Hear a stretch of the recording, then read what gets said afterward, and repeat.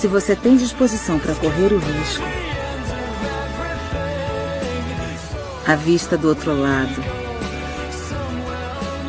é espetacular.